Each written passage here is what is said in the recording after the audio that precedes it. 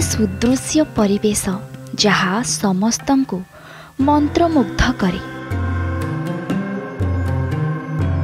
ଲୋକମୁଖରେ ଏହାର ନାଁ ହରିହର କ୍ଷେତ୍ର। ଗୋଟିଏ ପଟେ ଜନବସତି ଅନ୍ୟପଟେ ବିସ୍ତୀର୍ଣ୍ଣ ଚାଷ କ୍ଷେତ। ତାରି ଭିତରେ ସୁନ୍ଦର ସୁରମ୍ୟ ମନ୍ଦିରଟିଏ।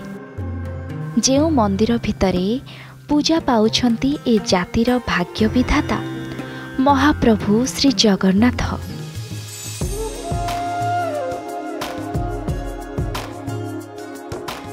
ଏହି ଭବ୍ୟ ମନ୍ଦିର କେଉଁ ରାଜ ରାଜୁଡ଼ା ଅମଳରୁ ନୁହେଁ କି ପୁରୁଣା ସମୟରୁ ନୁହେଁ ଏହି ଭବ୍ୟ ମନ୍ଦିରଟି ପ୍ରତିଷ୍ଠା ହୋଇଛି ଉଣେଇଶହ ଛୟାନବେ ମସିହାରେ। ମାହାଳର ଏହି କ୍ଷେତ୍ର ହରିହର କ୍ଷେତ୍ର ଭାବରେ ପରିଚିତ। ଏହି କ୍ଷେତ୍ରର ଆଉ ଏକ ସ୍ୱତନ୍ତ୍ରତା ହେଉଛି। ଆଜି ସମୟରେ ବି ଏଠାରେ ଦେବଦାସୀ ପ୍ରଥା ବଞ୍ଚି ରହିଛି। ଆଜି ବି ପ୍ରତି ରାତିରେ ମହାପ୍ରଭୁଙ୍କ ସମ୍ମୁଖରେ ଗୀତ ଗୋବିନ୍ଦ ଗାଇ ମହାପ୍ରଭୁଙ୍କୁ ଶୁଆଇ ପକାଉଛନ୍ତି ଦେବଦାସୀ। ମହାପ୍ରଭୁଙ୍କ ମାନବୀୟ ଲୀଳାରେ ଏ ଲୀଳା ବା ମହାପ୍ରଭୁଙ୍କର ଏ ସେବା ଆଜି ଅନ୍ୟ ମନ୍ଦିରମାନଙ୍କରେ ଦେଖିବାକୁ ବିରଳ। କେନ୍ଦ୍ରାପଡ଼ାର ମାହାଳ ଜଗନ୍ନାଥ ମନ୍ଦିର।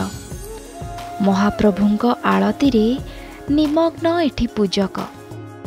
ଧ୍ୟାନମଗ୍ନରେ ଏଠି ଭକ୍ତ। ପ୍ରତି ସକାଳ ସଞ୍ଜର ଏ ଆଳତୀ ସହିତ ସ୍ଥାନୀୟ ବାସିନ୍ଦାଙ୍କ ସମୂହ କୀର୍ତ୍ତନ। ମହାପ୍ରଭୁଙ୍କର ସତେଅବା ଆଉ କିଛି ଲୋଡ଼ା ନାହିଁ। ନନା ଗୋସେଇଙ୍କ ଆଲଟ ଚାମର ସେବା ସତେ ଯେମିତି ସେବାର ଏହି ମାର୍ଗରେ ମହାପ୍ରଭୁଙ୍କୁ ରଖିବା ପାଇଁ କାହାକୁ କ'ଣ ଦେଇଛନ୍ତି ଆମ ଗୋସାଇଁ?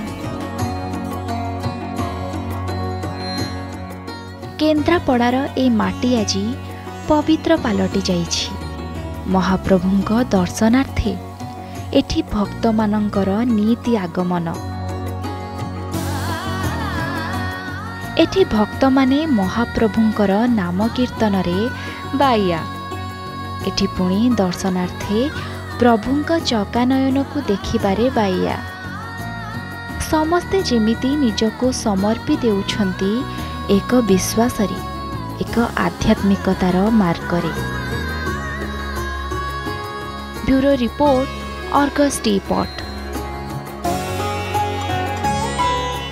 ଯଦି ଆପଣଙ୍କୁ ଆମର ଏହି ଭିଡ଼ିଓଟି ଭଲ ଲାଗିଲା ତେବେ ଆମ ଚ୍ୟାନେଲକୁ ସବସ୍କ୍ରାଇବ୍ କରନ୍ତୁ ଆଉ ହଁ ବେଲ୍ ଆଇକନ୍ ଦବାଇବାକୁ ଜମା ବି ଭୁଲିବେନି